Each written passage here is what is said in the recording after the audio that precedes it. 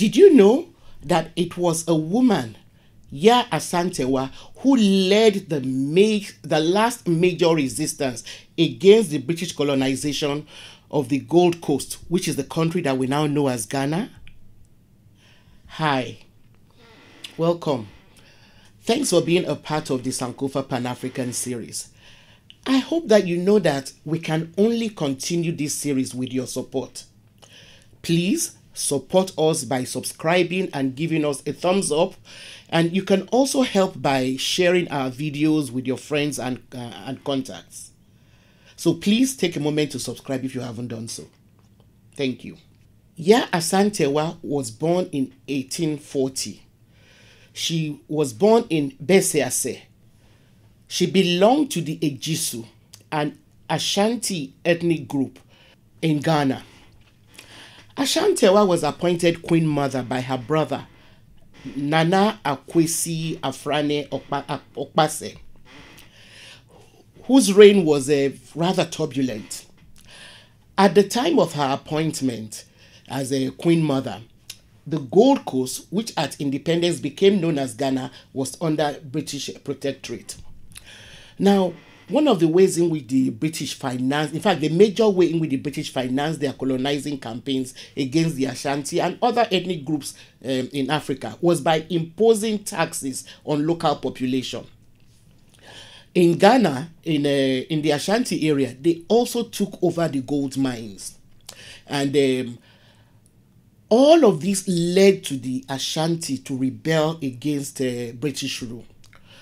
Now, during her brother's um, reign, the Ashanti Confederacy went through a series of events that threatened their existence, including a, a civil war. You know, so, but after the death of Akwasi, her brother, Yaa Asantewa's grandson became the ruler of uh, Ejisu. His reign did not last long because by 18, um, 1896, he and the king of the Ashantis Prempeh I, were exiled by the British to the island of Seychelles. Now, sending powerful leaders on exile was also one of the ways in which the British destabilized a lot of African communities.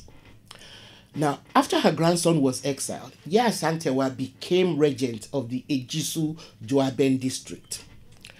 Now, in a single minded pursuit to break the backbone of the Ashanti, the British Governor General of the Gold Coast at the time, um, Frederick Hodgson, demanded that the golden stool of the Ashanti be handed over to him. But the Ashanti uh, refused. The golden stool was the Ashanti throne and a symbol of Ashanti autonomy.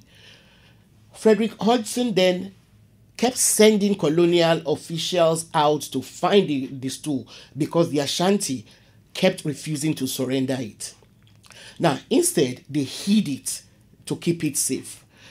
Now, the colonial officers that Hodgson sent went from village to village trying to force people to reveal where the golden stool was hidden without any success.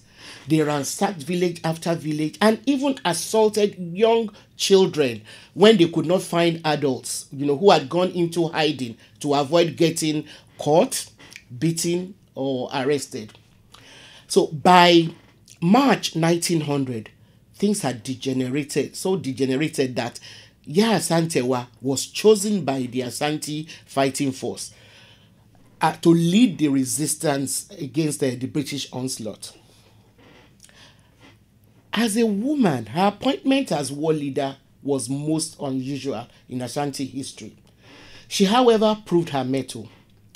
Some accounts actually refer to the Ashanti British War of the Golden Stool as the Yaa Asantewa War because of the way she took firm leadership of the um, of the Ashanti troops against the British.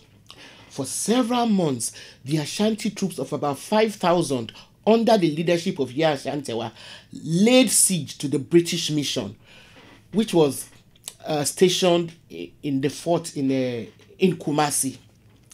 They succeeded in cornering the British, who then brought in reinforcements made up of several thousand uh, troops and artillery. This then gave the British the advantage to succeed in breaking the Ashanti siege. Uh, Queen Asantewaa and 15 of her closest advisors were unfortunately captured and sent into exile in Seychelles.